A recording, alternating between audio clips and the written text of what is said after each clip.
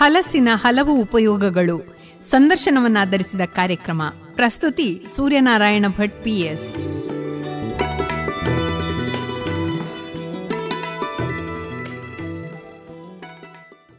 ಬೇಸಿಗೆಯೊಂದಿಗೆ ಬೆಸೆದ ಹಣ್ಣುಗಳಲ್ಲಿ ಮಾವಿನಂತೆಯೇ ಹಲಸೂ ಒಂದು. ದಕ್ಷಿಣ ಕರ್ನಾಟಕ ಹಾಗೂ ಕರಾವಳಿ ಪ್ರದೇಶಗಳಲ್ಲಿ ಬೆಳೆಯುತ್ತಿದ್ದ ಹಲಸು ಇದೀಗ ಎಲ್ಲ ಕಡೆಗೂ ಪಸರಿಸಿದೆ. ಕೆಲ ವರ್ಷಗಳ ಹಿಂದಿನವರೆಗೂ ಇದು ಹೆಚ್ಚು ನಿರ್ಲಕ್ಷ್ಯಕ್ಕೆ ಒಳಗಾದ ಹಣ್ಣಾಗಿತ್ತು. ಆದರೆ ಈಗ ಅದರ ಬಗೆಗಿನ ಅರಿವು ಹಲಸನ್ನು ಒಂದು ಉತ್ತಮ ಬೇಡಿಕೆಯ ಫಲವಸ್ತುವನ್ನಾಗಿ ಮಾಡಿದೆ. ಹಲಸು ಮೇಳಗಳು ಇದರ ಪ್ರಚಾರ ಪ್ರಸಾರದಲ್ಲಿ ಬಹುಮುಖ್ಯ ಪಾತ್ರ ವಹಿಸಿವೆ ಎಂದರೆ ತಪ್ಪಾಗಲಾರದು. ಇತ್ತೀಚೆಗೆ ಇಂತಹದೇ ಒಂದು ಹಲಸು ಮೇಳ ಮೂಡಬಿದ್ರೆಯ ಆಳ್ವಾಸ್ ಸಂಸ್ಥೆಯ ಆವರಣದಲ್ಲಿ ಜರುಗಿತು. ಈ ಹಲಸು ಮೇಳದಲ್ಲಿ ಹಲಸಿನ ಬೇರೆ ಬೇರೆ ರೀತಿಯ ಉಪ ಉತ್ಪನ್ನಗಳನ್ನು ಪ್ರದರ್ಶನ ಹಾಗೂ ಮಾರಾಟವನ್ನು ಏರ್ಪಡಿಸಲಾಗಿತ್ತು. ಇತ್ತೀಚೆಗೆ ಬೇರೆ ಬೇರೆ ರೀತಿಯ ಹೊಸ ಹೊಸ ತಿಂಡಿ ತಿನಿಸುಗಳನ್ನು ಹಲಸಿನಿಂದ ಮಾಡುವುದು ಕಂಡುಬರುತ್ತಿದೆ. ಹಲಸಿನ ತಿಂಡಿ ತಿನಿಸುಗಳ ಬಗ್ಗೆ ಪಾಕಪ್ರವೀಣ ಉದಯಕುಮಾರ್ ಅವರನ್ನು ಮಾತಾಡಿಸೋಣ. ಶ್ರೋತೃಗಳೇ, ಈಗ ನಾವು ಆಳ್ವಾಸ್ನ ಹಲಸಿನ ಮೇಳದ ಒಂದು ಚಿತ್ರಣವನ್ನು ನಿಮಗೆ ಕೊಡಲಿಕ್ಕೆ ಬಯಸ್ತಾ ಇದ್ದೇವೆ. ಇಲ್ಲಿ ಹಲಸಿನ ಹಲವಾರು ಉತ್ಪನ್ನಗಳ ಮಾರಾಟ ಮತ್ತು ತಯಾರಿ ನಡೀತಾ ಇದೆ. ಇಂಥ ಸಂದರ್ಭದಲ್ಲಿ ಆಳ್ವಾಸ್ನ ಕ್ಯಾಂಟೀನ್ನಲ್ಲಿ ಈಗ ಹಲವಾರು ಹಲಸಿನ ಉತ್ಪನ್ನಗಳನ್ನು ಮಾಡಿ ಕೊಡಲಾಗ್ತಾ ಇದೆ. ಇದರಲ್ಲಿ ಯಾವ್ಯಾವ ಉತ್ಪನ್ನಗಳನ್ನೆಲ್ಲ ಮಾಡ್ತಾರೆ ಅನ್ನೋದ್ರ ಬಗ್ಗೆ ನಮಗೆ ತಿಳಿಸ್ಕೊಡ್ಲಿಕ್ಕಿದ್ದಾರೆ ಉದಯ್ ಕುಮಾರ್ ಅವರು. ನಮಸ್ಕಾರ ಉದಯ್ ಕುಮಾರ್ ನೀವು ಎಲ್ಲಿಯವರು ಮುಖ್ಯವಾಗಿ? ನಂದು ಕಾರ್ಕಳ. ಕಾರ್ಕಳ. ಹೌದು. ಈ ಎಷ್ಟು ವರ್ಷಗಳಿಂದ ನೀವು ಈ ಅಡಿಗೆ ಕೆಲಸದಲ್ಲಿದ್ದೀರಿ? ಒಂದು ಹದಿನೈದು ವರ್ಷದಿಂದ. ಏನೇನು ಅಡಿಗೆ ಮುಖ್ಯವಾಗಿ ಹಲಸಿನ ಐಟಮ್ಗಳು ಇಲ್ಲಿ ಮಾಡ್ತಾ ಇದ್ದೀರಿ? ಹಲಸಿನದ್ದೊಂದು ಉಪ್ಪಿನ ಸೋಳೆದ್ದು ಪಲ್ಯ. ಉರೇಲು ಉರೇಲು ಅಂತ ಹೇಳಿ ಹಲಸಿದ್ದು. ಅದು ಮತ್ತೊಂದು ಹಂಗುಲಿ ಮತ್ತೆ ನೀರು ದೋಸೆ ನೀರು ದೋಸೆಗೆ ಅದು ಹಂಗುಲಿದ್ದು ತಿನ್ಲಿಕ್ಕೆ. ಮತ್ತೆ ಹಲಸಿನ ಬೀಜದ್ದು ಅದರದ್ದು ಲಾಡು ಮತ್ತೆ ಅದರದ್ದೊಂದು ಪಲ್ಯ ಮತ್ತೆ ಅದರದ್ದು ಪುಂಡಿ. ಅದು ಹಾಕಿ ನಮ್ಮ ಈ ಪುಂಡಿ ಹಾಗೆ ಪುಂಡಿ. ಮತ್ತೆ ಹೊಸ ಐಟಮ್ಗಳು ಯಾವ್ದಾದ್ರು ಉಂಟಾ? ಮತ್ತೆ ಮುಲ್ಕ ಅದು ಎಣ್ಣೆಯಲ್ಲಿ ಬಿಡುದು ನಾವು ಇದರಲ್ಲಿ ಜೈನರ ಐಟಮ್ಸ್ ಯಾವುದೆಲ್ಲ ಉಂಟು? ಅದು ಸಾಧಾರಣ ಇದರಲ್ಲಿ ಎಲ್ಲ ಜೈನ್ಸೆ. ಮತ್ತೆ ಹಲಸಿನ ಗಟ್ಟಿ ಅವರದು ಉರೇಲ್ ಅಂತ ಹೇಳುವ ಒಂದು ಸ್ಪೆಷಲ್ ಐಟಮ್ ಅದೇನು ಉರೇಲ್ ಅಂದ್ರೆ ಏನು ಅದು ಉರೇಲ್ ಹೇಳಿದ ಒಗ್ಗರಣೆ ಇಟ್ಟು ಪಲ್ಯದ ಹಾಗೆ ಹೆಸರು ಚೇಂಜ್ ಉರೇಲ್ ಅಂತ ಹೇಳುದು. ತೆಂಗಿನಕಾಯಿ ಎಲ್ಲ ಹಾಕಿ ಎಣ್ಣೆಯಲ್ಲೇ ಬೇಯಿಸುದು. ನೀರು ಹಾಕ್ಲಿಕ್ಕಿಲ್ಲ ಅದಕ್ಕೆ. ಒಗ್ಗರಣೆಯಲ್ಲೇ ಹಾಕುದು. ಅದನ್ನು ಮಾಡುವ ಕ್ರಮ ಹೇಗೆ?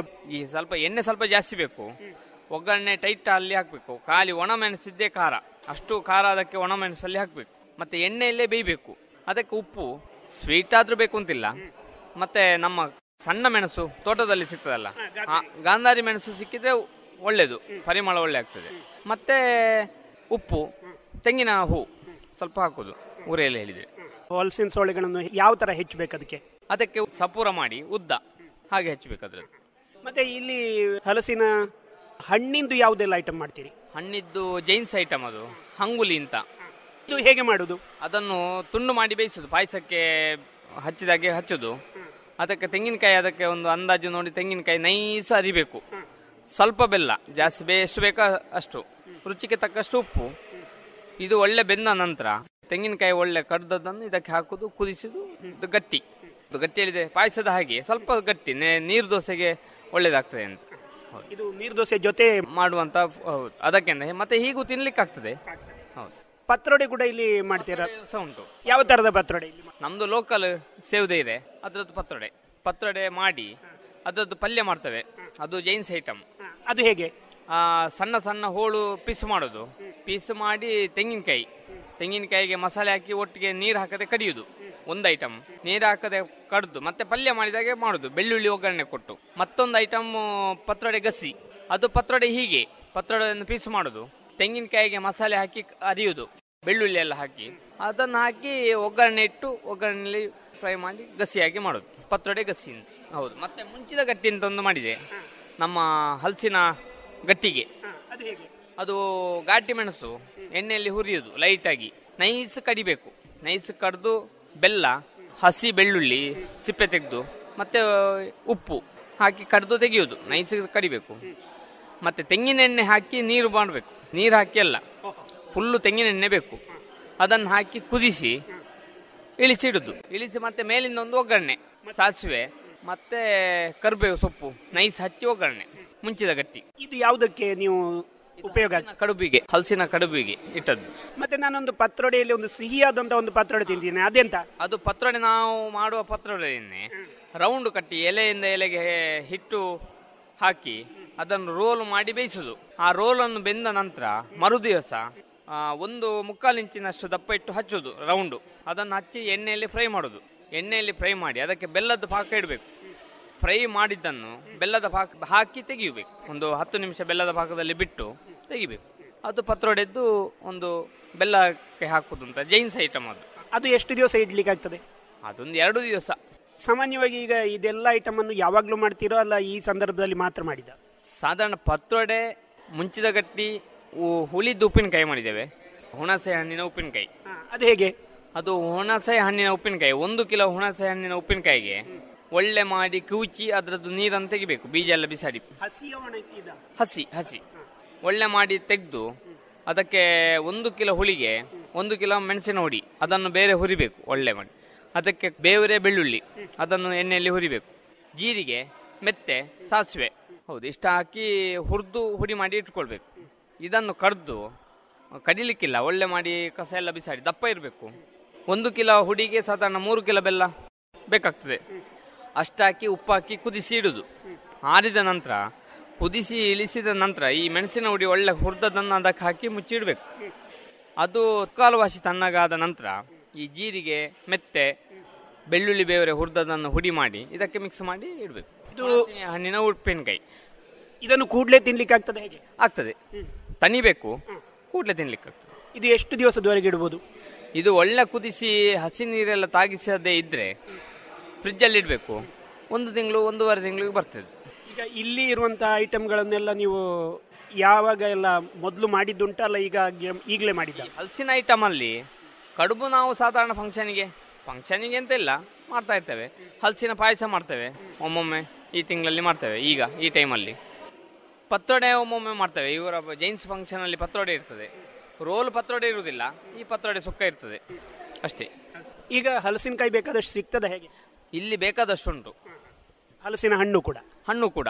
ಈಗ ಸ್ಪೆಷಲ್ ಆಗಿ ಇಲ್ಲಿಗೆ ಅಂತಲೇ ನೀವು ಇಷ್ಟವರೆಗೆ ಏನು ಮಾಡದ ಈ ಚೈನೀಸ್ ಇಂಥದ್ದೇನಾದ್ರೂ ಐಟಮ್ ಮಾಡ್ತಾ ಇದ್ದೀರಾ? ಹಲಸಿದ್ದು ಮಂಚೂರಿ. ಅದೊಂದು ಮಾಡ್ತಾ ಇದ್ದೇವೆ ನಾಳೆ. ಅದು ಹೇಗೆ ಮಾಡುದು? ಅದು ಕಾಯಿ ಹಲಸು ಸೋಳೆ ಬಿಡಬಾರ್ದು. ಬೀಜ ಬೇಡ. ಅಂಥದ್ದನ್ನು ಸಣ್ಣ ಕೊಚ್ಚುದು. ಕೊಚ್ಚುದು ಹಚ್ಚುದು ಒಂದೊಂದು ಪೀಸಿನಾಗೆ ಹಚ್ಚುದು. ಅದಕ್ಕೆ ನಾವು ಗೋಬಿ ಮಂಚೂರಿದ್ದೇ ಸ್ಪೆಷಲ್ ಅದಕ್ಕೆ. ಪಾಕ. ಗೋಬಿ ಅಷ್ಟೇ ದೊಡ್ಡದು. ಹೌದು ಗೋಬಿ ಅಷ್ಟೇ ದೊಡ್ಡದು. ಎಣ್ಣೆಯಲ್ಲಿ ಹಾಕಿ ಕಾಯಿಸುದು. ಒಳ್ಳೆ ಸೇಲ್ ಆಗ್ತದೆ ಹೇಗೆ? ಒಳ್ಳೆ ಸೇಲ್ ಆಗ್ತದೆ. ಒಳ್ಳೆ ಡಿಮಾಂಡ್ ಉಂಟು ಅದಕ್ಕೆ. ಒಂದು ಪಾಯಸ ಹಲಸಿನ ಪಾಯಸ. ಮತ್ತೆ ಗಟ್ಟಿ ಹಂಗುಲಿ ಅಂತ ಹೇಳ್ತಾರೆ. ಗಟ್ಟಿ ಹಂಗುಲಿ ಅಂತ ಹೇಳಿದ್ರೆ ಅದಕ್ಕೂ ಹಾಗೆ ಎಣ್ಣೆ ಜಾಸ್ತಿ. ಎಣ್ಣೆ ಜಾಸ್ತಿ ಒಗ್ಗರಣೆ ಕೊಡ್ಬೇಕು ಅದಕ್ಕೆ. ಅದೊಂದು ಜೈನ್ಸ್ ಐಟಮ್ ಅದು. ಗಟ್ಟಿ ಹಂಗುಲಿ ಅಂತ ಹೆಸರು ಅದು ಅದು ಯಾವುದರಕ್ಕೆ? ಅದು ಸೈಡ್ ಐಟಮ್ ಅಲ್ಲ ಮೇಯ್ನ ಸೈಡ್ ಐಟಮ್ ಹೀಗೆ ತಿನ್ಲಿಕ್ಕೆ ಬೇರೆ ಬಾಯಿಗೆ ಟೇಸ್ಟ್ ನೋಡ್ಲಿಕ್ಕೆ. ಅದನ್ನು ಮಾಡುದು ಹೇಗೆ? ಒಗ್ಗರಣೆಲ್ಲೇ ಬೇಯಬೇಕು ಅದು ಸಹ. ಅದಕ್ಕೆ ತೆಂಗಿನಕಾಯಿ ಹಾಕ್ಲಿಕ್ಕಿಲ್ಲ. ಆ, ಹಾಗೆ. ಪ್ಲೈನ್ ನೀರು ಹಾಕ್ಲಿಕ್ಕಿಲ್ಲ ತೆಂಗಿನಕಾಯಿ ಹಾಕ್ಲಿಕ್ಕಿಲ್ಲ. ಆ, ಸೋಳೆಯನ್ನು ಎಷ್ಟು ದೊಡ್ಡದಾಗಿ ಹೆಚ್ಚಬೇಕಾಗ್ತದೆ? ಸೋಳೆಯನ್ನು ನಮ್ಮ ಪಾಯಸಕ್ಕೆ ಕೊರದಾಗೆ ಕೊರಿಬೇಕು. ಅಡ್ಡ ಮಾಡಿ ಒಂದಿಂಚು ಒಂದಿಂಚು ಚಚೌಕ. ಅದನ್ನು ಒಗ್ಗರಣೆಯಲ್ಲಿ ಒಗ್ಗರಣೆಯಲ್ಲೇ ಬೇಯಿಸಬೇಕು. ಒಗ್ಗರಣೆಗೆ ಏನಾದರೂ ಸ್ಪೆಷಲ್ ಐಟಮ್ ಅನ್ನು ಹಾಕಬೇಕು? ಒಗ್ಗರಣೆಗೆ ಏನು ಸ್ಪೆಷಲ್ ಐಟಮ್ ಇಲ್ಲ. ಸಾಸಿವೆ ಜಿ- ಮೆಣಸು ಕರಿಬೇವು ಎಣ್ಣೆ ತೆಂಗಿನೆಣ್ಣೆ ಇದನ್ನು ಎಷ್ಟು ಸಮಯ ಬೇಯಿಸಬೇಕು? ಇದೊಂದು ಬೇಯಲಿಕ್ಕೆ ಒಂದು ಅರ್ಧ ಗಂಟೆ ಆದ್ರೂ ಬೇಕಾಗ್ತದೆ. ಅರ್ಧ ಗಂಟೆ ಬೇಯಿಸಿದ ಮೇಲೆ ಅದಕ್ಕೆ ಏನಾದರೂ ಉಂಟಾ ಬೇರೆ ಕೆಲಸ? ಮತ್ತೆ ಉಪ್ಪು ಹಾಕ್ಲಿಕ್ಕೆ ರುಚಿಗೆ ತಕ್ಕಷ್ಟು ಉಪ್ಪು. ಅಷ್ಟೇ. ಖಾರ ಅದು ಒಣ ಮೆಣಸನ್ನೇ ಜಾಸ್ತಿ ಹಾಕ್ಬೇಕು ಅದಕ್ಕೆ. ಒಣ ಮೆಣಸನ್ನೇ ಒಗ್ಗರಣೆಗೆ ಜಾಸ್ತಿ ಹಾಕ್ಬೇಕು. ಖಾರಕ್ಕೆ ಬೇಕಾಗುವಷ್ಟು. ಮತ್ತೆ ಹಲಸಿನ ಹಣ್ಣಿನ ಹಲ್ವಾ ಮಾಡಿದ್ದೇವೆ. ಹಲ್ವಾ ಮತ್ತೆ ಹಲಸಿನ ಸೋಳೆದ್ದು ಬೀಜದ್ದು ಲಾಡು ಮಾಡಿದೆ ಲಾ ಹಲ್ವಾ ಸೋಳೆಯನ್ನು ಹಣ್ಣು ಸೋಳೆ ಆಗಬೇಕು, ಮಿಕ್ಸಿಯಲ್ಲಿ ಕಡಿಬೇಕು, ಒಳ್ಳೆ ಮಾಡಿ. ಸಕ್ಕರೆ ಪಾಕಕ್ಕೆ ಅದನ್ನು ಹಾಕಿ, ನಾವು ಬಾಳೆಹಣ್ಣಿನ ಹಾಗೆ ಹಲ್ವನ್ನು ಒಟ್ಟಾಯಿಸ್ತಾ ಇರಬೇಕು. ತುಪ್ಪ ಇಷ್ಟು ಹಾಕಿ, ನಮ್ಮ ಬಾಳೆಹಣ್ಣಿನ ಹಲ್ವದ್ದು ಹೇಗೆ ಪಾಕ ಉಂಟು? ಅದೇ ಪಾಕ, ಸೇಮ್. ಮಿಕ್ಸಿಂಗ್ ಅದಕ್ಕೆ ಯಾವುದಿಲ್ಲ, ತುಪ್ಪ, ಸಕ್ಕರೆ. ಸಕ್ಕರೆಯೂ ಆಗ್ತದೆ, ಬೆಲ್ಲವೂ ಆಗ್ತದೆ. ಮತ್ತೆ ಹಲಸಿನ ಹಣ್ಣು ಅದು ಒಂದಿಷ್ಟು ಅನ್ನ ಎಷ್ಟು ಬೆಲ್ಲ ಮತ್ತು ಇದು ಹಾಕಬೇಕು? ಎಲ್ಲ ಶೇ- ಅದು ನೋಡಿಕೊಂಡು ಸೋಳೆಯನ್ನು ನೋಡಿಕೊಂಡು. ಸೋಳೆ ಬಾರಿ ಹುಳಿ ಅಂತಾದ್ರೆ ಸ್ವಲ್ಪ ಜಾಸ್ತಿ ಬೇಕು. ಸಿಹಿ ಅಂತಾದ್ರೆ ಸ್ವಲ್ಪ ಸ್ವೀಟ್ ಕಮ್ಮಿ ಆಗ್ತದೆ. ಹಾಗೆ. ಈಗ ಈ ಹುಳಿ ಸೋಳೆ ಮಾಡುವಾಗ ಅದರ ಹಲ್ವವು ಸ್ವಲ್ಪ ಹುಳಿ ಆಗ್ತದ?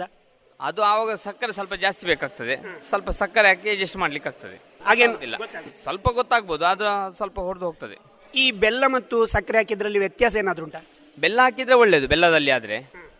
ಸಕ್ಕರೆಯು ತೊಂದರೆ ಇಲ್ಲ. ಅಲ್ಲ ನೋಡುವಾಗ ಏನಾದರೂ ಕೂಡ ಅದಕ್ಕೆ ಕಲರಿಂಗ್ ಏನಾದರೂ ಹಾಕ್ತೀರಾ? ಕಲರಿಂಗ್ ಏನಿಲ್ಲ ಅದರದ್ದೇ ಕಲರ್ ಬೇಕಿದ್ರೆ ಸ್ವಲ್ಪ ಲೆಮನ್ ಎಲ್ಲೋ ಕಲರ್ ಹಾಕ್ಬೋದು. ಇದು ರೆಡ್ ಕಲರು ಹಾಕ್ಬೋದು ಬೇಕಿದ್ರೆ. ಮತ್ತೆ ಲಾಡು?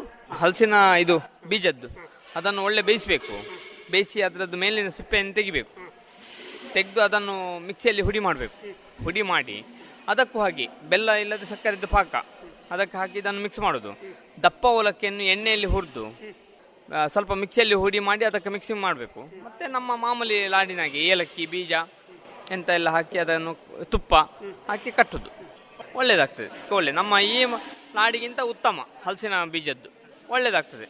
ಈಗ ಸಾಮಾನ್ಯವಾಗಿ ನೀವು ಹೀಗೆ ಮಾಡಿದ ಬೇರೆ ಕಡೆಯಲ್ಲೆಲ್ಲ ಮಾಡಿದ ಈ ಹಲಸಿನ ಬೇರೆ ಬೇರೆ ಐಟಮ್ಗಳು ಒಳ್ಳೆ ಸೇಲ್ ಆಗ್ತವೆ ಒಳ್ಳೆ ಸೇಲ್ ಆಗ್ತದೆ. ಚಿಪ್ಸ್ ಮಾಡಿದ್ದೇವೆ. ಹಲಸಿನ ಸೋಳೆದ್ದು ಚಿಪ್ಸ್ ಅದು ಒಳ್ಳೆ ಸೇಲ್ ಆಗ್ತದೆ. ಹೌದು. ಆ, ಒಳ್ಳೇದು ಉದಯ್ ಕುಮಾರ್ ಅವರೇ. ನಮಸ್ಕಾರ. ಆಯ್ತು ನಮಸ್ತೆ ಹಲಸು ಒಂದು ಉತ್ತಮ ಆಹಾರ, ಸಮೃದ್ಧ ಪೋಷಕಾಂಶಗಳನ್ನು ಇದು ಒಳಗೊಂಡಿದೆ. ಇದರಿಂದಾಗಿಯೇ ಇದನ್ನು ನ್ಯಾಚುರೋಪತಿಯಲ್ಲಿ ಕೂಡ ಬಳಸುತ್ತಾರೆ. ಈ ಕುರಿತು ಮೂಡಬಿದ್ರೆಯ ಆಳ್ವಾಸ್ ನ್ಯಾಚುರೋಪತಿ ಕಾಲೇಜಿನಲ್ಲಿ ಪ್ರಾಧ್ಯಾಪಕರಾಗಿರುವ ಡಾಕ್ಟರ್ ಪ್ರಜ್ಞಾ ಹೀಗೆ ತಿಳಿಸುತ್ತಾರೆ. ಈಗ ನಮ್ಮ ಜೊತೆ ಇದ್ದಾರೆ ಡಾಕ್ಟರ್ ಪ್ರಜ್ಞಾ ಅವರು. ಡಾಕ್ಟರ್ ಪ್ರಜ್ಞಾ ಅವರು ಆಳ್ವಾಸ್ನ ನ್ಯಾಚುರೋಪತಿ ಕಾಲೇಜಿನಲ್ಲಿ ಕೆಲಸ ಮಾಡ್ತಾ ಇರುವಂಥವರು. ಯಾವ್ಯಾವ ರೀತಿಯ ಎಲ್ಲ ಪದಾರ್ಥಗಳನ್ನ ನ್ಯಾಚುರೋಪತಿ ಮತ್ತು ಆಯುರ್ವೇದಕ್ಕೆ ಸಂಬಂಧಪಟ್ಟ ಹಾಗೆ ಮಾರಾಟ ಮಾಡಲಾಗ್ತಾ ಇದೆ. ಮತ್ತೆ ಅದರ ವಿಶೇಷತೆಗಳೇನು ಅನ್ನೋದ್ರ ಬಗ್ಗೆ ಅವರು ನಮಗೆ ತಿಳಿಸ್ಕೊಡ್ಲಿಕ್ಕಿದ್ದಾರೆ. ನಮಸ್ಕಾರ ಡಾಕ್ಟರ್ ಪ್ರಜ್ಞಾ ಅವರೇ. ನಮಸ್ತೆ ಸರ್. ಈಗ ಏನೇನು ವಸ್ತುಗಳನ್ನೆಲ್ಲ ಇಲ್ಲಿ ಮಾರ್ತಾ ಇದ್ದೀರಿ? ನಾವು ಯಾವ್ದೆಲ್ಲ ಸೀಸನಲ್ ಫ್ರೂಟ್ಸ್ ಅವೈಲೇಬಲ್ ಇದೆ ಈ ಸೀಸನ್ ಅಲ್ಲಿ ಅಂತದನ್ನೆಲ್ಲ ಇಲ್ಲಿ ಡಿಸ್ಪ್ಲೇ ಅಲ್ಲಿ ಇಟ್ಟಿದ್ದೇವೆ sir. For example dragon fruit ಆಗಿರ್ಬೋದು ರಾಂಬೂಟಾನ್ ಆಗಿರ್ಬೋದು ಬ್ಲೂಬೆರಿ ನೇರಳೆ ಮತ್ತೆ ಜಾಕ್ ಫ್ರೂಟ್ ಅಲ್ಲಿ ರಾ ಮತ್ತೆ ರೈಪ್ ವೆರೈಟಿಯನ್ನು ಹಣ್ಣು ಮತ್ತೆ ಹಣ್ಣಾದ ವೆರೈಟಿಯನ್ನು ಇಟ್ಟಿದ್ದೇವೆ. ಮ್ಯಾಂಗೋ ಕೂಡ ರಾ ಮತ್ತೆ ರೈಪ್ ಮ್ಯಾಂಗೋವನ್ನು ಇಟ್ಟಿದ್ದೇವೆ. ಪಪ್ಪಾಯ, ಪೇರಳೆ ಫ್ರೂಟ್ ಹಾಗೆ ಇಂಥದ್ದೆಲ್ಲವನ್ನು ಇಲ್ಲಿ ಡಿಸ್ಪ್ಲೇಗೆ ಇಟ್ಟಿದ್ದೇವೆ. ಮತ್ತೆ ಕೆಲವೊಂದು ಮಾರಾಟಕ್ಕೂ ಕೂಡ ಇಲ್ಲಿ ನಮ್ಮ ಪ್ರಕೃತಿ ಚಿಕಿತ್ಸೆ ಮತ್ತೆ ಯೋಗ ವಿಭಾಗದ ಮಕ್ಕಳು ಪ್ರಿಪೇರ್ ಮಾಡಿ ಮಾರಾಟಕ್ಕೆ ಕೂಡ ಇಲ್ಲಿ ಇಟ್ಟಿದ್ದೇವೆ. ಅದರಲ್ಲಿ ಮೇನ್ಲಿ ಮ್ಯಾಂಗೋ ಜ್ಯೂಸ್ ಮಾವಿನ ಹಣ್ಣಿನ ಜ್ಯೂಸ್ ಮತ್ತೆ ಜಾಕ್ ಫ್ರೂಟ್ ಸಲಾಡ್ ಅಂತ ಒಂದು ಇಟ್ಟಿದ್ದೇವೆ. ಅಂದ್ರೆ ಮಾವಿನ ಹಣ್ಣಿನಿಂದ ಮಾಡಲಾದಂತ ರಾ ರೂಪದಲ್ಲಿ ಸಲಾಡ್ ಮತ್ತೆ ಜಾಕ್ ಫ್ರೂಟ್ ಸ್ಮೂದಿ ಹಣ್ಣಿನ ಜಾಕ್ ಫ್ರೂಟ್ ಅಲ್ಲಿ ಮಾಡುವಂತದ್ದು ಸ್ಮೂದಿ ತಿಕ್ ಜ್ಯೂಸ್ ತರ ಇರ್ತದೆ ಅದು. ಅದು ಮತ್ತೆ ಜಾಕ್ ಫ್ರೂಟ್ ಹಲ್ವಾ ಅಂತ ಒಂದು ಮಾಡಿದ್ದೇವೆ ಸರ್ ಇಷ್ಟು ವೆರೈಟೀಸ್ ನಮ್ಮಲ್ಲಿ ಲಭ್ಯವಿದೆ. ಮತ್ತೆ ಬಂದವರಿಗೆಲ್ಲ ಕೂಡ ಅದರ ಪೌಷ್ಟಿಕತೆಯ ಬಗ್ಗೆ ಕೂಡ ಮಾಹಿತಿಯನ್ನು ಕೊಡ್ತಾ ಇದ್ದೇವೆ. ಈಗ ಮುಖ್ಯವಾಗಿ ನೀವು ಹೇಳಿದ್ರಿ ಕೆಲವೆಲ್ಲ ಹಣ್ಣುಗಳನ್ನೆಲ್ಲ ಇಲ್ಲಿ ನೋಡ್ಲಿಕ್ಕೆ ಅಂತ ಹೇಳಿ ಡಿಸ್ಪ್ಲೇಗೆ ಇಟ್ಟಿದ್ದೇವೆ ಅಂತ. ಈ ಹಣ್ಣುಗಳನ್ನ ಡಿಸ್ಪ್ಲೇ ಇಟ್ಟದ್ದು ಯಾಕಾಗಿ? ಅದು ಯಾಕೆಂದ್ರೆ ಸರ್ ನಾವು ಆ ಹಣ್ಣಿಗೆ ರಿಲೇಟೆಡ್ ಆದ ಇಲ್ಲಿ ಕೆಲವೊಂದು ಡಿಸ್ಪ್ಲೇ ಅನ್ನು ಮಾಡಿದ್ದೇವೆ. ಬಂದವರಿಗೆ ಹಣ್ಣು ನಾವು ಎಷ್ಟು ತಕೊಳ್ಬೇಕು ಎಷ್ಟು ಪ್ರಮಾಣದಲ್ಲಿ ತಕೊಳ್ಬೇಕು ಏನೆಲ್ಲ ಅದರಲ್ಲಿ ಪೌಷ್ಟಿಕತೆ ದೊರೆಯುತ್ತದೆ ಎಂದು ನಾವು ಅದನ್ನು ಜನರಿಗೆ ಪ್ರೊಪಗೇಟ್ ಮಾಡ್ತಾ ಇದ್ದೇವೆ. ಈಗ ಯಾವ ಯಾವ ಹಣ್ಣಿನಲ್ಲಿ ಏನೇನು ವಿಶೇಷತೆಗಳು ಇದ್ದಾವೆ ಇಲ್ಲಿ ಡಿಸ್ಪ್ಲೇ ಮಾಡಿದ? ಓಕೆ ಫಾರ್ ಎಕ್ಸಾಂಪಲ್ ಈಗ ಡ್ರ್ಯಾಗನ್ ಫ್ರೂಟ್ ಹಣ್ಣು ಸರ್ ಅದು ಈ ಸೀಸನ್ ಅಲ್ಲಿ ಸಿಗುವಂತದ್ದು ನಾವದ್ರ ಪೌಷ್ಟಿಕತೆ ಅಥವಾ ನ್ಯೂಟ್ರಿಟಿವ್ ವ್ಯಾಲ್ಯೂ ನೋಡಿದ್ರೆ ಅದರಲ್ಲಿ ಕ್ಯಾಲರೀಸ್ ಅಂತ ಇರ್ತದೆ ಸರ್ ಸೊ ಕ್ಯಾಲರಿ ಪ್ರತಿ ಹಂಡ್ರೆಡ್ ಗ್ರಾಮ್ ಅಲ್ಲಿ ನಾವು ಹಂಡ್ರೆಡ್ ಗ್ರಾಮ್ ಕ್ಯಾಲರಿಯಲ್ಲಿ ನಾವು ಹೇಳ್ತಾ ಇದ್ದೇವೆ. ಸೊ ಅದರಲ್ಲಿ ಮೈನ್ ಆಗಿರುವಂಥದ್ದು ಡಯಟ್ರಿ ಫೈಬರ್ ಅಂತ. ಅದರಲ್ಲಿ ಸೆವೆನ್ ಪರ್ಸೆಂಟ್ ತ್ರೀ ಗ್ರಾಮ್ಸ್ ಅಲ್ಲಿ ಸೆವೆನ್ ಪರ್ಸೆಂಟ್ ಫೈಬರ್ ಇದೆ. ಮತ್ತೆ ಟೋಟಲ್ ಪ್ರೋಟೀನ್ ಟೂ ಪರ್ಸೆಂಟ್ ಒಂದು ಗ್ರಾಮ್ ಅಲ್ಲಿ ಎರಡು ಪರ್ಸೆಂಟ್ ಪ್ರೋಟೀನ್ ಇದೆ. ಮತ್ತೆ ವೈಟಮಿನ್ ಬಿ ಟ್ವೆಲ್ವ್ ಸೊ ಅದು ಪಾಯಿಂಟ್ ಐದು ಮಿಲಿಗ್ರಾಮಿಗೆ ಒಂದು ಪರ್ಸೆಂಟ್ ಅಷ್ಟು ವೈಟಮಿನ್ ಬಿ ಟ್ವೆಲ್ ಕೂಡ ದೊರೆಯುತ್ತದೆ ಸರ್ ಮತ್ತೆ ಹೆಲ್ತ್ ಬೆನಿಫಿಟ್ಸ್ ಕೂಡ ನಾವು ಅದರ ಬಗ್ಗೆ ಹೇಳುದಾದ್ರೆ, ಅದರಲ್ಲಿ ಒಂದು ಆಂಟಿ ಆಕ್ಸಿಡೆಂಟ್ ಪ್ರಾಪರ್ಟಿ ಅಂತ ಇದೆ ಈ ಡ್ರ್ಯಾಗನ್ ಫ್ರೂಟ್ ಅಲ್ಲಿ. ಮತ್ತೆ ಏನಾದ್ರೂ ನಮಗೆ ಜೀರ್ಣ ಶಕ್ತಿಯ ಇಂಡೈಜೆಷನ್ ಪ್ರಾಬ್ಲಮ್ ಇದ್ರೆ ಕೂಡ ಅದು ಹೆಲ್ಪ್ ಆಗ್ತದೆ. ಈಗ ಬೇರೆ ಬೇರೆ ಫ್ರೂಟ್ಗಳಲ್ಲಿ ಬೇರೆ ಬೇರೆ ವಸ್ತುಗಳು ಅಂತ ಹೇಳಿದರೆ ಪ್ರೋಟೀನ್ಸ್ ಎಷ್ಟುಂಟು ಕಾರ್ಬೋಹೈಡ್ರೇಟ್ಸ್ ಎಷ್ಟುಂಟು ವಿಟಮಿನ್ಸ್ ಎಷ್ಟುಂಟು, ಇದರ ಬಗ್ಗೆ ಎಲ್ಲ ನೀವು ಹೇಳ್ತೀರಿ. ಈಗ ಯಾವುದಾದ್ರೂ ಹಣ್ಣುಗಳಲ್ಲಿ, ಈಗ ಬೇರೆ ಬೇರೆ ಹಣ್ಣುಗಳಲ್ಲಿ ಬೇರೆ ಬೇರೆ ರೀತಿಯಲ್ಲಿ ವಿಟಮಿನ್ಸ್ ಇದೆ, ಕಾರ್ಬೋಹೈಡ್ರೇಟ್ಸ್ ಇದೆ, ಪ್ರೋಟೀನ್ಸು ಇಂಥದ್ದೆಲ್ಲ ಬೇರೆ ಬೇರೆ ಇದ್ದಾವೆ. ಈ ಎಲ್ಲ ಹಣ್ಣುಗಳು ಕೂಡ ಸಾಮಾನ್ಯವಾಗಿ ನಮ್ಮ ಹತ್ರ ಒಂದು ಕಲ್ಪನೆ ಉಂಟು, ನ್ಯಾಚುರಲ್ ಅಂತ ಹೇಳಿದರೆ ಎಷ್ಟು ಬೇಕಾದ್ರೂ ತಿನ್ಬೋದು ಅಂತ. ಎಷ್ಟು ಬೇಕಾದ್ರೂ ತಿಂದರೆ ಇದರಲ್ಲಿರುವಂಥ ಕ್ಯಾಲೋರಿಗಳು, ಪ್ರೋಟೀನ್ಗಳು ಇದೆಲ್ಲ ಜಾಸ್ತಿ ಆಗೋದಿಲ್ವಾ? ಇಲ್ಲ ಸರ್ ಅದು ನಾವು ದಿನನಿತ್ಯದ ಇಷ್ಟಿಷ್ಟೇ ಪ್ರಪೋರ್ಷನ್ ಅಂತ ಹೇಳ್ತೇವೆ ಪೇಷಂಟ್ಸ್ಗೆ ಸ್ಪೆಷಲಿ ಡಯಾಬಿಟೀಸ್ನವರೆಲ್ಲ ಬಂದರೆ ನಾವು ಅದರದ್ದೇ ಒಂದು ಪ್ರಪೋರ್ಷನಲ್ಲಿ ಕೊಡ್ತೇವೆ ಸರ್. ಫಾರ್ ಎಕ್ಸಾಂಪಲ್ ನಾವು ನಮ್ಮ ಹಾಸ್ಪಿಟಲಲ್ಲಿ ಕೊಡೋದಾದ್ರೆ ಒಂದು ಬೌಲ್ ಅಂತ ಕೊಡ್ತೇವೆ. ಅದರಲ್ಲಿ ಪಪ್ಪಾಯ ಇರ್ಬೋದು ವಾಟರ್ಮೆಲನ್ ಆಗ್ಬೋದು. ಅವರಿಗೆ ಎಷ್ಟು ಪ್ರಪೋರ್ಷನ್ ಅಗತ್ಯ ಇದೆ ಅಷ್ಟೇ ಪ್ರಪೋರ್ಷನ್ ಅಲ್ಲಿ ಕೊಡ್ತೇವೆ ಸರ್ ಒಬ್ಬೊಬ್ಬರಿಗೂ ಕೂಡ ಹಾಗಿದ್ರೆ ಅದರ ರಿಕ್ವೈರ್ಮೆಂಟ್ ಅಥವಾ ಬೇಕಾದ್ದು ಬೇರೆ ಬೇರೆ. ಹೌದು ಸರ್ ಅದನ್ನ ಯಾವ ರೀತಿಯಲ್ಲಿ ನಾವು ಜಡ್ಜ್ ಮಾಡುವಂತದ್ದು ತೂಕದ ಮೇಲೆ. ತೂಕದ ಮೇಲೆ. ಸರ್. ಈಗ ಬೇರೆ ಎರಡು ಐಟಮ್ಗಳನ್ನ ನೀವು ಹೇಳಿದ್ರಿ. ಇಲ್ಲಿ ಇದರಿಂದ ಪ್ರಿಪೇರ್ ಮಾಡುವ ಐಟಮ್ಗಳು ಅಂತ ಯಾವ ಐಟಮ್ಗಳನ್ನ ಪ್ರಿಪೇರ್ ಮಾಡ್ತೀರಿ? ಮತ್ತೆ ಅದರ ವಿಶೇಷತೆಗಳೇನು? ಸರ್, ನಾವೀಗ ಸ್ಪೆಷಲ್ ಅಂದ್ರೆ ಜಾಕ್ ಫ್ರೂಟ್ ಸೀಡ್ ಇದ್ದು, ಅಂದ್ರೆ ಜಾಕ್ ಫ್ರೂಟ್ ಇಂದ ಅವೈಲೇಬಲ್ ಇರ್ತದೆ ಸೀಡ್ ಅದು ಯೂಶಲ್ ಆಗಿ ನಾವು ಬಿಸಾಡ್ತೇವೆ ಮನೆಯಲ್ಲಿ. ಸೊ ಅದರದ್ದೇ ಒಂದು ಹಲ್ವಾ ಮಾಡಿದ್ದೇವೆ. ಅದು ಸ್ಪೆಷಲ್ ಸ್ಪೆಷಲ್ ಐಟಮ್ ಅದು ಇಲ್ಲಿದ್ದು. ಸೊ ಅದರ ಬೆನಿಫಿಟ್ಸ್ ಬೇಕಿದ್ರೆ ನಿಮಗೆ ಅದರಲ್ಲಿ ಮೇನ್ ಡಯಟ್ರಿ ಫೈಬರ್ ಅಂತ ಲಭ್ಯವಿರುತ್ತದೆ. ಅದು ಹದಿನೈದು ಪರ್ಸೆಂಟ್ನಷ್ಟು ಡಯಟ್ರಿ ಫೈಬರ್ ಇದೆ. ಮತ್ತೆ ಪ್ರೋಟೀನ್ ಎಂಟು ಪರ್ಸೆಂಟ್ನಷ್ಟು ಪ್ರೋಟೀನ್ ಇದೆ. ಮತ್ತೆ ಮಿನರಲ್ಸ್ ಕೆಲವೊಂದು ನಮಗೆ ವೈಟಮಿನ್ ಬಿ ಮಿನರಲ್ಸ್ ಅವೈಲೇಬಲ್ ಇದೆ. ಮೇನ್ಲಿ ರೈಬೋಫ್ಲೇವಿನ್ ಅಂತ ಏಯ್ಟೀನ್ ಪರ್ಸೆಂಟ್ ಅವೈಲಬಿಲಿಟಿ ಇದೆ. ಮತ್ತೆ ಹೆಲ್ತ್ ಬೆನಿಫಿಟ್ಸ್ ನೋಡೋದಾದ್ರೆ ಕಾನ್ಸ್ಟಿಪೇಷನ್ ಮಲಬದ್ಧತೆಗೆ ಇದು ತುಂಬಾ ಉಪಯೋಗವಾಗುವಂತದ್ದು ಮತ್ತೆ ಒಂದು ಶುಗರ್ ಇರುವವರು ಕೂಡ ಡಯಾಬಿಟಿಸ್ ಪೇಷಂಟ್ ಕೂಡ ಇದನ್ನು ಸೇವನೆ ಮಾಡಬಹುದು ಸೊ ನಾವು ಇದಕ್ಕೆ ಬೆಲ್ಲ ಯೂಸ್ ಮಾಡುದು. ಬೆಲ್ಲ ಮತ್ತೆ ಗೀಯಿಂದ ಮಾಡಲಾಗ್ತದೆ ಅದು. ಸೊ ಡಯಾಬಿಟಿಸ್ಗೆ ಕೂಡ ಪೇಷಂಟ್ಸ್ ಅದನ್ನು ಕನ್ಸ್ಯೂಮ್ ಮಾಡಬಹುದು ಇನ್ ಲಿಮಿಟೆಡ್ ಕ್ವಾಂಟಿಟಿ ಈಗ ಈ ನ್ಯಾಚುರೋಪತಿಯಲ್ಲಿ ಬೆಲ್ಲ ಮತ್ತು ಘೀ ಅನ್ನುವಂಥದ್ದನ್ನು ಉಪಯೋಗಿಸಬಹುದಾ ಹೇಗೆ? ಆಕ್ಚುಲಿ ಮಾಡಬಹುದು ಸರ್. ಯಾಕಂದ್ರೆ ನಾವು ಶುಗರ್ ಅನ್ನು ಅವಾಯ್ಡ್ ಮಾಡ್ತೇವೆ. ಅದರಲ್ಲಿ ಫ್ರಕ್ಟೋಸ್ ಅಂತ ಒಂದು ಕಂಟೆಂಟ್ ಇರ್ತದೆ ಸರ್. ಸೊ ಅದು ನಮಗೆ ಡಯಾಬಿಟೀಸ್ಗೆ ತುಂಬಾ ಹಾನಿಕರವಾದಂಥದ್ದು. ಇನ್ಸುಲಿನ್ ರೆಸಿಸ್ಟೆನ್ಸ್ ಅಂತ ನಾವು ಹೇಳ್ತೇವೆ. ಅದು ಫ್ರಕ್ಟೋಸ್ ಇಂದ ಆಗ್ತದೆ. ಸೊ ಬೆಲ್ಲ ಆಸ್ ಪರ್ ಆಸ್ ನ್ಯಾಚುರೋಪತಿ ನಾವು ಯೂಸ್ ಮಾಡ್ತೇವೆ.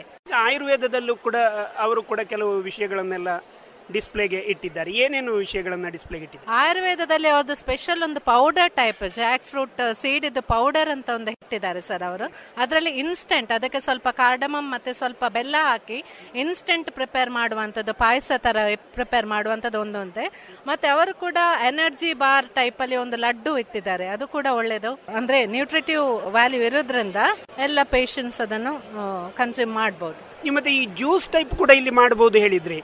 ಈ ಜ್ಯೂಸ್ ಮತ್ತು ನಾರ್ಮಲ್ ಜ್ಯೂಸಿಗೆ ಏನಾದರೂ ವ್ಯತ್ಯಾಸಗಳು ಉಂಟಾ ಇದರಲ್ಲಿ? ಇಲ್ಲ ಸರ್. ನಾವು ಬರೀ ಜ್ಯೂಸ್. ಫ್ರೂಟ್ ಅನ್ನು ಮಾತ್ರ ಕನ್ಸಿಡರ್ ಮಾಡೋದು ನಾವು. ಸೊ ಜ್ಯೂಸ್ ಅನ್ನೇ ಮಾಡಿದ್ದೇವೆ. ಅದಕ್ಕೆ ಬೇರೆ ಏನು ಹಾಕ್ಲಿಲ್ಲ. ಹಾಕ್ಲಿಲ್ಲ. ಅದಕ್ಕೆ ಬೆಲ್ಲ ಸಕ್ಕರೆ ಏನು ಇಲ್ಲ ಇಲ್ಲ ಇಲ್ಲ. ಬೇಕಿದ್ರೆ ಸ್ವಲ್ಪ ಟೇಸ್ಟ್ಗೆ ಹನಿ ಹಾಕ್ಬಹುದು ಅಷ್ಟೇ. ಯಾಕಂತ ಹೇಳಿದ್ರೆ ನ್ಯಾಚುರಲ್ ಆಗಿ ಸಾಮಾನ್ಯ ಜ್ಯೂಸ್ ಬರುವಾಗ ಅದು ಅಷ್ಟು ಸ್ವೀಟ್ ಇರುವುದಿಲ್ಲ. ಯಾವ ಹಣ್ಣಿದ್ದಾದ್ರೂ ಕೂಡ. ಅಷ್ಟಾಗುವಾಗ ಅದೊಂದು ಹೆಚ್ಚು ಜನರಿಗೆ ಅದು ಖುಷಿ ಆಗುವುದಿಲ್ಲ ಆದ್ರಿಂದ ಅದಕ್ಕೆ ಏನ್ ಹಾಕ್ಬೋದು ಅನ್ನೋದ್ರ ಬಗ್ಗೆ. ಅದ್ರ ಬೇಕಿದ್ರೆ ನಿಮ್ಗೆ ಆಲ್ಟರ್ನೇಟಿವ್ ಆಗಿ ಹನಿ ಹಾಕ್ಬಹುದು ಸರ್ ಸ್ವಲ್ಪ ಹನಿ ಒಂದು ಹಾಫ್ ಟೇಬಲ್ ಸ್ಪೂನ್ ಅಥವಾ ಒನ್ ಟೇಬಲ್ ಸ್ಪೂನ್ ಹನಿ ಅಲ್ಲಿ ಮಾಡ್ಬೋದು. ಪ್ರಿಪೇರ್ ಸರಿಯಾಗಿ ಇಲ್ಲಿ ಜಾಕ್ ಫ್ರೂಟ್ ಮತ್ತು ಅದಕ್ಕೆ ಬೇರೆ ಹಣ್ಣಿನ ಡಿಸ್ಪ್ಲೇಗಳನ್ನು ಐಟಮ್ಗಳನ್ನು ಇಟ್ಟಿದ್ದೀರಿ.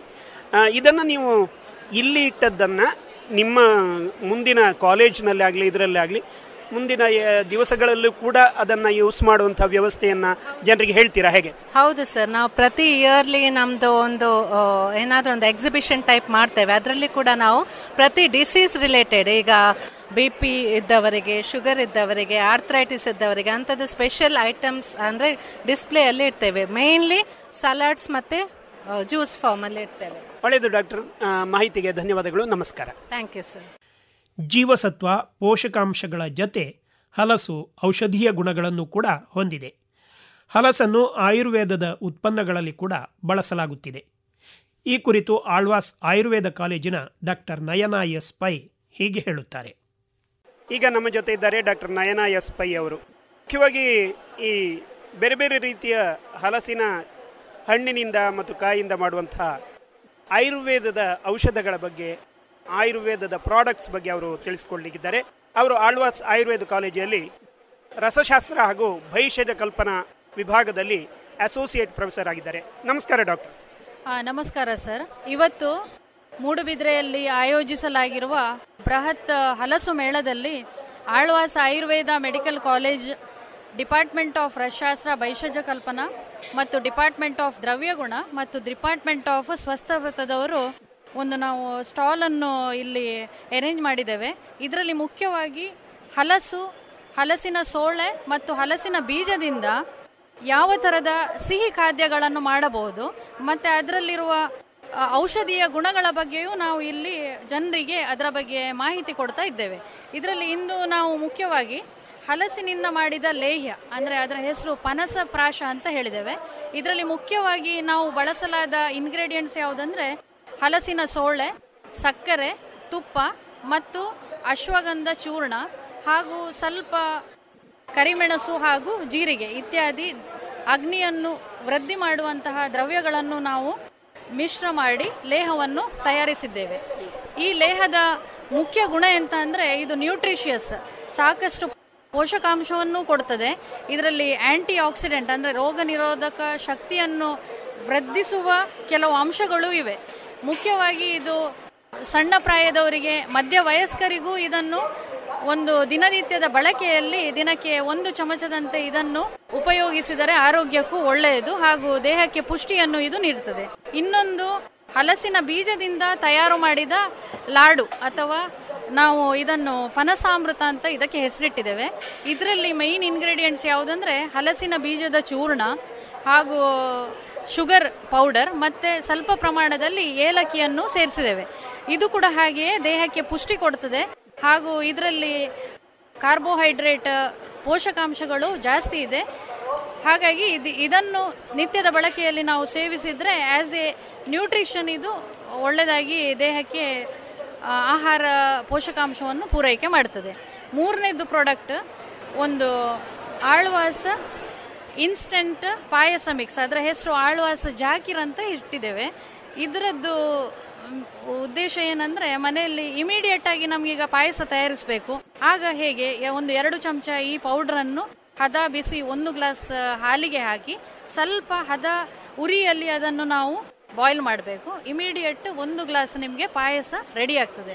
ಇದರ ತುಂಬಾ ಇಂಪಾರ್ಟೆಂಟ್ ಬೆನಿಫಿಟ್ ಏನಂದ್ರೆ, ಇದರಲ್ಲಿ ಬೀಜದಲ್ಲಿ ಇನ್ನೂ ಔಷಧಿಯ ಗುಣಗಳು ಜಾಸ್ತಿ ಉಂಟು. ದೇಹಕ್ಕೆ ಈಗ ತೂಕ ಕಮ್ಮಿ ಇರುವವರು ಸಣಕಲ ಕಾಯದವರು ಇದನ್ನು ಬಳಕೆ ಮಾಡಬಹುದು ಯಾಕೆಂದ್ರೆ ಇದರಲ್ಲಿ ಸ್ವಲ್ಪ ಫ್ಯಾಟ್ ಕಂಟೆಂಟ್ ಕೂಡ ಜಾಸ್ತಿ ಉಂಟು. ದೇಹಕ್ಕೆ ಒಳ್ಳೆ ಪೋಷಣೆ ನೀಡ್ತದೆ. ಇದು ಒಂದು ಉತ್ತಮ ಆಹಾರವಾಗಿ, ಔಷಧಿಯಾಗಿಯೂ ಯೂಸ್ ಮಾಡಬಹುದು ಮತ್ತೆ ಇನ್ನೊಂದು ಇದರಿಂದ ನಾವು ತಯಾರು ಮಾಡಿದ ಖಾದ್ಯ ಅಂತ ಅಂದ್ರೆ ಕ್ಯಾಂಡೀಸ್ ಕ್ಯಾಂಡಿ ಅಂದ್ರೆ ನಿಮ್ಗೆ ಒಂದು ಸ್ವಲ್ಪ ಹದ ಗಟ್ಟಿಯಾದ ಒಂದು ವೃತ್ತಾಕಾರದ ಚಾಕ್ಲೇಟ್ ಟೈಪ್ ಅಲ್ಲಿ ನಾವು ಇದನ್ನು ಪ್ರೆಸೆಂಟ್ ಮಾಡಿದ್ದೇವೆ. ಇದರಲ್ಲಿಯೂ ಮುಖ್ಯವಾಗಿ ಹಲಸಿನ ಸೋಳೆ, ಬೀಜ ಮತ್ತೆ ಜಾಗರಿಯನ್ನು ಯೂಸ್ ಮಾಡಿದ್ದೇವೆ. ಈ ಎಲ್ಲ ಖಾದ್ಯಗಳು ಒಂದು ಆಹಾರವಾಗಿ, ಔಷಧಿಯಾಗಿ, ದಿನನಿತ್ಯದ ಬಳಕೆಯಲ್ಲಿ ಮಿತವಾಗಿ ಉಪಯೋಗಿಸಿದರೆ ಒಳ್ಳೆ ಆರೋಗ್ಯದಲ್ಲಿ ಉತ್ತಮ ಚೇತರಿಕೆಯೂ ಬರ್ತದೆ. ಮತ್ತೆ ಸಣಕಲು ಕಾಯದವರಿಗೆ ಸ್ವಲ್ಪ ದೇಹಕ್ಕೆ ಪುಷ್ಟಿಯನ್ನು ಕೊಡುವುದರಲ್ಲಿ ಆಗ್ತದೆ. ತುಂಬಾ ಟೈಮಿಂದ ಅಸ್ವಸ್ಥರಾಗಿ ದೇಹದಲ್ಲಿ ನಿಶಕ್ತಿ ಇದ್ದವರಿಗೂ ಇದೊಂದು ಉತ್ತಮ ಆಹಾರವಾಗಿ ಔಷಧಿಯಾಗಿಯೂ ಕಾರ್ಯವಹಿಸ್ತದೆ. ಈ ಎಲ್ಲ ಖಾದ್ಯಗಳಲ್ಲೂ ಕೂಡ ನೀವು ಬರೇ ಹಲಸನ್ನ ಮಾತ್ರ ಬಳಸಿದ್ದೀರೋ ಅಥವಾ ಯಾವುದಾದ್ರೂ ಔಷಧೀಯ ಬೇರೆ ವಸ್ತುಗಳನ್ನು ಕೂಡ ಬಳಸಿದ್ದೀರಾ? ಇದು ನಮ್ಮ ಈ ಎಲ್ಲ ತಯಾರಿಕೆಯು ಮುಖ್ಯವಾಗಿ ಹಲಸಿನ ಮೇಳಕ್ಕೆ ಸಂಬಂಧಪಟ್ಟದಾದ್ರಿಂದ ಇದರಲ್ಲಿ ಮುಖ್ಯ ಒಂದು ಇಂಗ್ರೀಡಿಯೆಂಟ್ ಆಗಿ ನಾವು ಹಲಸಿಗೆ ಸಂಬಂಧಿತ ದ್ರವ್ಯವನ್ನೇ ಬಳಸಿದ್ದೇವೆ. ಆದರೂ ಅದ್- ಅದರ ಜೊತೆಗೆ ಕೆಲವು ಅಗ್ನಿಶಕ್ತಿಯನ್ನು ವೃದ್ಧಿ ಮಾಡಲಿಕ್ಕೆ, ಅದಕ್ಕೆ ಉತ್ತಮ ಒಂದು ಪರಿಮಳ ಅಥವಾ ಎರೋಮಾ ಕೊಡಲಿಕ್ಕೆ ನಾವು ಸಣ್ಣ ಪ್ರಮಾಣದಲ್ಲಿ ಏಲಕ್ಕಿ, ಮತ್ತೆ ಜೀರಿಗೆ, ಕೊತ್ತಂಬರಿ, ಶುಂಠಿ ಚೂರ್ಣ, ಅಶ್ವಗಂಧ ಚೂರ್ಣ ಇದನ್ನು ಅತಿ ಕಡಿಮೆ ಪ್ರಮಾಣದಲ್ಲಿ ನಾವು ಬಳಸಿದ್ದೇವೆ. ಈಗ ಈ ಹಲಸಿನ ಒಂದು ವಸ್ತುಗಳನ್ನು ಅಂತ ಹೇಳಿದರೆ ಹಲಸಿನ ಸೋಳೆ ಆಗಿರ್ಬೋದು, ಬೀಜ ಆಗಿರ್ಬೋದು. ಇವುಗಳನ್ನು ಬಳಸಿಕೊಂಡು ಯಾವುದಾದರೂ ಕೂಡ ಔಷಧಿಯನ್ನು ಮಾಡುವಂಥದ್ದು ಉಂಟ, ಮಾಡಿದ್ದುಂಟ? ಔಷಧಿಯನ್ನು ಯೂಶ್ವಲಿ ನಾವು ಈಗ ಹಲಸು ಅಂತ ಹೇಳುವಾಗ ಅದು ಮುಖ್ಯವಾಗಿ ಒಂದು ಆಹಾರ ವರ್ಗದಲ್ಲಿ ಬರ್ತದೆ. ಅದನ್ನು ನಾವು ಔಷಧಿಯಾಗಿಯೂ ಬಳಸ್ಬೋದು. ಆಗ ಏನಾಗ್ತದೆ ಅಂದರೆ ಇದು ನ್ಯೂಟ್ರಾಸ್ಯೂಟಿಕಲ್ಸ್ ಅಥವಾ ಆಹಾರವಾಗಿಯೂ ಔಷಧಿಯಾಗಿಯೂ ನಾವು ಬಳಸಲಿಕ್ಕೆ ಆಗ್ತದೆ. ಅಥವಾ ಹಲಸಿನ ಬೀಜದಲ್ಲಿ ಆಂಟಿ ಡಯಾಬೆಟಿಕ್ ಪ್ರಾಪರ್ಟಿ ಉಂಟಂತ ಪ್ರೂವ್ ಆಗಿದೆ. ಸೊ ಹಲಸಿನ ಬೀಜದ ಚೂರ್ಣವನ್ನು ಮಾತ್ರ ನಾವು ಔಷಧಿಯಾಗಿ ಬಳಸ್ಬೋದು. ಮಾತ್ರವಲ್ಲದೆ ಹಲಸಿನ ಎಲೆಯಲ್ಲಿಯೂ ಕೆಲವು ಔಷಧೀಯ ಗುಣಗಳಿದೆ. ಅದು ಗಾಯ, ಗುಣ ಮಾಡಲಿಕ್ಕೆ ಆಂಟಿ ಇನ್ಫ್ಲಮೇಟರಿ ಅಂತ ಹೇಳ್ತೇವೆ. ಅದನ್ನು ನಾವು ಬೇರೆ ಬೇರೆ ರೀತಿಯಲ್ಲಿಯೂ ಸಂಶೋಧನೆಯ ಮುಖಾಂತರ ಅದರಲ್ಲಿಯೂ ಬೇರೆ ಬೇರೆ ರೀತಿಯ ಔಷಧೀಯ ಉತ್ಪನ್ನಗಳನ್ನು ನಾವು ತಯಾರು ಮಾಡುವ ಸಾಧ್ಯತೆ ಉಂಟು. ಅದಲ್ಲದೆ ಹಲಸಿನ ಸೋಳೆಯಲ್ಲಿ ಮುಖ್ಯವಾಗಿ ಆಹಾರದ ಪೋಷಕಾಂಶಗಳು ಜಾಸ್ತಿ ಇರೋದ್ರಿಂದ ಅದು ಮುಖ್ಯವಾಗಿ ನಾವು ಆಹಾರವಾಗಿ ಬಳಸಿ ಕೆಲವು ಸಂದರ್ಭದಲ್ಲಿ ಈಗ ದೈಹಿಕ ನಿಶಕ್ತಿ ಅಂತಹ ಕೆಲವು ಸಂದರ್ಭದಲ್ಲಿ ಅದನ್ನು ಔಷಧಿಯಾಗಿಯೂ ಅದರ ಉತ್ಪನ್ನಗಳನ್ನು ಬಳಸಬಹುದು. ಸಾಮಾನ್ಯ ಇಲ್ಲಿ ನಾನು ನೋಡಿದ ಹಾಗೆ ನಿಮ್ಮ ನ್ಯಾಚುರೋಪತಿ ಆಗಿರ್ಬೋದು, ಆಯುರ್ವೇದಕ್ಕೆ ಸಂಬಂಧಪಟ್ಟದ್ದಾಗಿರ್ಬೋದು. ಇಲ್ಲಿ ಹಲಸಿನ ಉತ್ಪನ್ನಗಳನ್ನು ಅದರ ಜೊತೆ ಬೇರೆ ಯಾವುದಾದ್ರೂ ಕೂಡ ಮಿಕ್ಸೆಡ್ ಐಟಮ್ಗಳನ್ನು ನಾನು ಕಾಣ್ತಾ ಇಲ್ಲ. ಆದರೆ ಇದಕ್ಕೆ ಯಾವುದಾದ್ರೂ ಕೂಡ ಮಿಕ್ಸೆಡ್ ಬೇರೆ ಏನಾದರೂ ಮಾಡಿ ಆಹಾರ ಮಾಡಿದರೆ ಅದರಿಂದ ಹಲಸಿನ ಒಳ್ಳೆಯ ಗುಣಗಳು, ನಷ್ಟ ಆಗುವಂಥ ಸಾಧ್ಯತೆಗಳು ಉಂಟಾ? ತುಂಬ ಒಂದು ಒಳ್ಳೆಯ ಪ್ರಶ್ನೆ ಕೇಳಿದಿರಿ. ಯಾಕೆಂದರೆ ಕೆಲವು ಔಷಧೀಯ ಗುಣಗಳು ನಾವು ಅದನ್ನು ಸಂಸ್ಕಾರ ಮಾಡುವ ವಿಧಾನದ ಮೇಲೆ ಹೋಗ್ತದೆ. ಈಗ ಕೆಲವು, ಈಗ ಹಲಸಿನ ಸೋಳೆ ಅದನ್ನು ನಾವು ಬೇಯಿಸಿದ್ರೆ ಅದರಲ್ಲಿ ಇರುವ ಕೆಲವು ಪೋಷಕಾಂಶಗಳು ನಾಶವಾಗುತ್ತದೆ. ಅದೇ ಥರ ಅದು ನಾವು ಯಾವ ಥರ ಸಂಸ್ಕಾರ ಮಾಡ್ತೇವೆ ಅದರ ಮೇಲೆ ಅವಲಂಬಿತವಾಗಿದೆ, ಅದರ ಔಷಧೀಯ ಗುಣಗಳು. ಈಗ ಕೆಲವು ನಾವೀಗ ಉಂಡೆ ಮಾಡುವಾಗ ಅದರಲ್ಲಿ ನಾವು ಡೈರೆಕ್ಟ್ ಆ ಪೌಡ್ರನ್ನು ಬಳಸಿ ಅದನ್ನು ಹದ ಉರಿಯಲ್ಲಿ ಒಮ್ಮೆ ಜಸ್ಟ್ ಒಮ್ಮೆ ಫ್ರೈ ಮಾಡಿದ್ದೇವೆ. ಬಟ್ ಆ ಅಂತಹ ಕಂಡೀಷನ್ಸಲ್ಲಿ ಔಷಧಿಯ ಗುಣಗಳು ಜಾಸ್ತಿ ನಾಶ ಆಗುವುದಿಲ್ಲ ನಾವು ಹಾಗೆ ಅದನ್ನು ರಿಟೈನ್ ಮಾಡ್ಬೋದು. ಆದರೆ ಬೇರೆ ಸಂದರ್ಭದಲ್ಲಿ ಅದನ್ನು ನಾವು ಬೇಯಿಸುವುದು ಅಥವಾ ಬೇಯಿಸಿದರೂ ಕೂಡ ಅದರೊಟ್ಟಿಗೆ ನಾವು ತುಪ್ಪ ಮತ್ತೆ ಬೇರೆ ಇತರ ಪೋಷಕಾಂಶಗಳು, ಅಶ್ವಗಂಧ ಹುಡಿ ಅಥವಾ ದೀಪನ ಪಾಚಕ ದ್ರವ್ಯ ಅಂತ ಹೇಳ್ತೇವೆ. ಅಗ್ನಿ ಜಾಸ್ತಿ ಮಾಡುವಂತಹ ಕೆಲವು ಚೂರ್ಣಗಳನ್ನು ಬೆರೆಸಿದಾಗ ಪೋಷಕಾಂಶಗಳು ಸ್ವಲ್ಪ ಮಟ್ಟಿಗೆ ಕಳೆದುಕೊಂಡರೂ ಕೂಡ ಈ ಎಲ್ಲ ಇತರ ಅಂಶಗಳು ಪೂರಕ ದ್ರವ್ಯವಾಗಿ ಅದನ್ನು ಒಂದು ಔಷಧಿಯಾಗಿಯೂ ಮತ್ತೆ ಆಹಾರ ದ್ರವ್ಯವಾಗಿಯೂ ಸೇವಿಸಲು ಅದು ಒಂದು ಒಳ್ಳೆಯ ಒಂದು ಪ್ರಾಡಕ್ಟ್ ಆಗಿ ನಾವು ಯೂಸ್ ಮಾಡ್ಬೋದು ಅದನ್ನು. ಒಳ್ಳೆಯದು ನಯನ ಅವರೇ ಮಾಹಿತಿಗಾಗಿ ಧನ್ಯವಾದಗಳು ಡಾಕ್ಟರ್. ಧನ್ಯವಾದಗಳು ಸರ್. ಹಲಸಿನ ಹಣ್ಣು ಬೀಜ ಮರ ಎಲ್ಲವೂ ಬೆಲೆ ಬಾಳುವಂಥದ್ದು. ಇದರ ಮೌಲ್ಯವರ್ಧಿತ ಉತ್ಪನ್ನಗಳಿಗೆ ವಿಶೇಷ ಬೇಡಿಕೆ ಇದೆ. ನಮ್ಮ ಊರಿನ ಬೆಳೆಯಾದಂತಹ ಹಲಸಿನ ಮಹತ್ವವನ್ನು ಅರಿತು ಅದನ್ನು ನಿರ್ಲಕ್ಷಿಸದೆ ಬೆಳೆಸೋಣ ಬಳಸೋಣ.